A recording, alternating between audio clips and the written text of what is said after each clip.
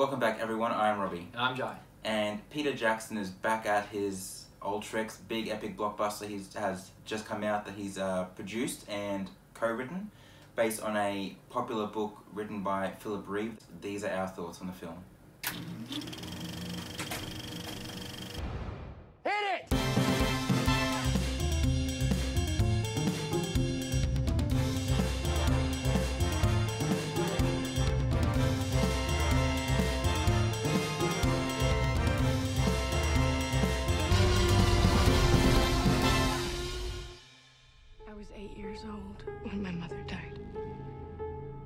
She loved traveling the world and digging up the past.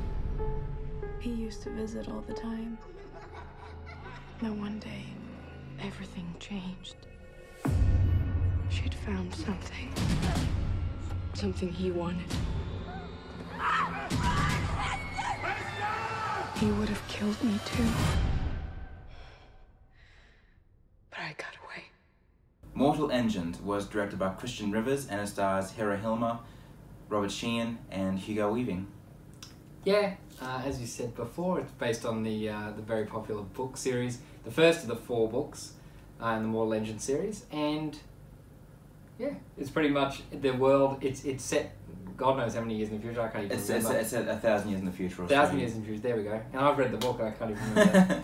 uh, pretty much the world has gone to nothing. There's been Yeah. a war broke out everywhere, and major cities are now the uh, are these predatorial, mechanical, roaming, moving hunks of metal who hunt down smaller cities and towns around the area for to stay alive, pretty much. Yes, And- to salvage scraps and Yeah. materials. Yep. And uh, there's a whole lot more going on with the characters themselves, so we focus pretty much on the city of London and uh, Hester Shaw, who is trying to get revenge on Thaddeus Valentine, who uh, runs London Pretty much, yeah. for, for personal reasons. Yeah.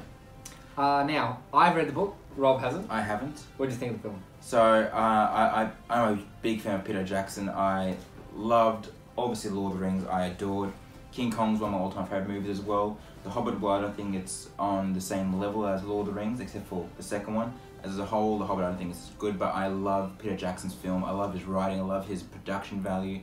Um, but when I saw the trailer, I thought it looked like crap. I thought it was horrible, and I was not looking forward to this film. I was even planning not to go see it, and then I thought, no, I've had Pleasant Surprise in the past. I'll go check it out, and I thoroughly enjoyed the film. Good. Because, yeah, I thought the same thing. Now, I've read the book. I really like the book. It's fun. Um, the trailer looks bad. The trailer is this film. It, the trailer is this film's worst enemy. It is really bad. Um, apparently the film itself for a lot of people is also bad. But Yeah. uh, I, as as a fan of the book I enjoyed this. This was good. There's it, it it's not totally different from the book but as with many many book adaptations there is a lot of stuff left out of the film for time reasons and for just pacing issues uh, reasons sorry. Um, so yeah that's that's necessary. Mm. so what they what is what is actually in the final film works. And Yeah. it's, it's all like great parts of the book so definitely. Um, I think that one of the big uh, mistakes a lot of people think going to think going in is that Peter Jackson directed it. He didn't direct it. He he co-wrote the script with Philippa Boyens and Fran, well, Fran Walsh, and has the same writing team who did King Kong, the Hobbit adaptations, and the Lord of the Rings adaptations.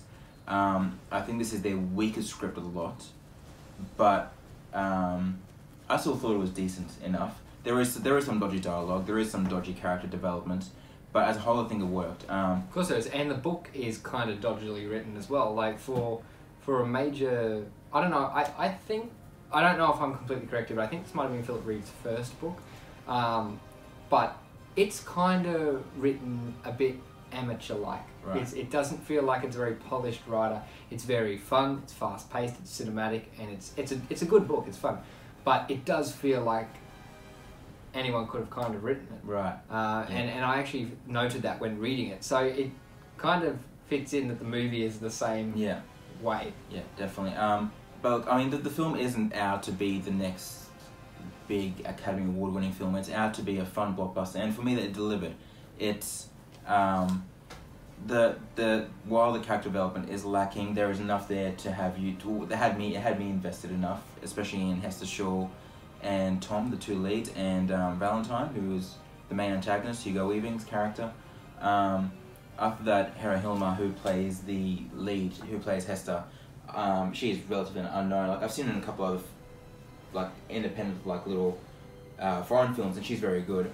And I saw her. She was also in Da Vinci's Demons, Right. which I didn't see the whole series, but I saw a few episodes, and she was in them. And she, I think she's a very good actress. She's got a lot of potential. Um, and here she has to carry the film, and I thought she did a very good job of doing that. Um, none of the dodgy acting I thought came from her. It all came from her co-stars, um, and definitely Hugo Weaving. He like even Hugo Weaving when he's when he isn't at his best, is still great because it's Yeah. Hugo. He's Hugo Weaving. Yeah. Um, that's definitely not the issue here. It's I thought some of the pacing was ever slightly off at times, but as a whole, it's got a really good momentum to it. But it's cinematic. It feels like it belongs to the big screen. Um, and that's one thing where even though it's not Peter Jackson directing, Christian River, who was a um, concept designer and a production uh, designer on Lord of the Rings, he's obviously worked closely with Jackson, and he you can tell he's he's been working with someone who has a big epic vision like Peter Jackson. Um, I think the film would have been better if Peter had directed it himself, but because there are some times when the direction did need better uh, focused vision behind the Oh, camera. sure. Um, there are some really gorgeous shots, but it's more like the the hand to hand combat scenes. I think had some really dodgy editing and directing. Yeah. But thankfully, there's only one or two scenes that do that. The rest of the time, it it looks very good. It flows very well. The sound design, I think, is exceptional in this movie. The sound was good, and it's funny that you actually mentioned the pacing because there was because this is purely because I've read the book, but it it to me it was like oh well here comes this scene, and all of a sudden it's over. So to me the film felt felt kind of rushed, purely only because I read the book. I I, I had the same feeling watching the Harry Potter films. Exactly- was like, exactly, it's exactly. kind of, it's kind of like ticking off the next thing that's going to come. Yeah. Exactly, and then there's there's as I said, there's just some characters who are just kind of minor characters in the film who are major characters in the book, Yeah. and there's some characters who don't appear at all. Definitely. Um, but that's uh, that's with every book adaptation. I don't think you can faithfully do a book adaptation without Yeah. the movie running five, six, seven hours long. It's it's unavoidable. You can't. Yeah, you have to streamline somehow. And Peter Jackson is someone who has proven that he knows how to streamline. I mean, how do you condense Lord of the Rings into Yeah. an into a nine-hour film series? Although for The Hobbit, he did the exact opposite. And made Exactly. Made, it, made one movie too long. exactly. But, But uh, when he when he's on uh, at, at his best, he has proven to be a very good ad, ad, adapter of novel oh, to screen. definitely. And Yeah, yeah, I think if, yeah, if I would have liked to have seen what he would have done behind the director's chair. In, Yeah. in, in, especially especially because he's been gunning for the story to be adapted for so long. He's been after the book for so long. yeah, Um, it took a long time for it to make it to the big screen, yeah. but I, I had I had a really good time. What are you giving it? Four stars. Yeah, uh, I was a bit hesitant after watching the trailer. As I said, I enjoyed it. Uh, I'm going four stars as well. Yeah. I, I, it's, it's, it's good. Yeah. It's good. I, I don't see why. I mean, yes, I can see why people aren't liking it, but it's not that bad. No. It's not. It's, There it's is far worse movies this year. way worse. This is actually just. This is a fun, entertaining blockbuster. Yeah. So yeah. Definitely, but apparently seem to be learning to people on the planet who like it. But I like Robin Hood, so what do I know? The great game of survival, this is checkmate. I knew you wouldn't leave me. Shut up and run.